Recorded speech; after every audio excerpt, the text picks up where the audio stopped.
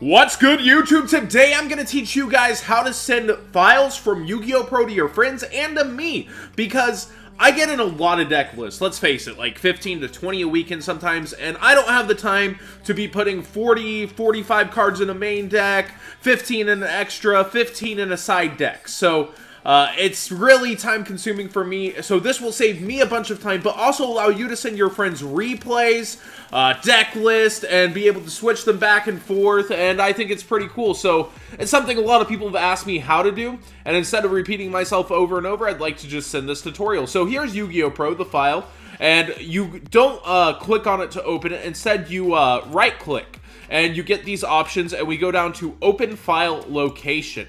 Now we're in the files, and you can see decks. So you see this huge line of decks. Well, um, you're gonna you, even if you like press copy, it's not gonna do much for you. So we're gonna go over here, and look, there's House of Champions, and we're gonna send him ABC Brooklyn Regionals, and uh, press enter. And there it is. There's the file for me. I can just straight up take it. So that's pretty awesome, huh, guys? And uh, you can also do other things. You can do uh, replays. Uh, I believe those are somewhere in here. Uh, yeah, replay section right here.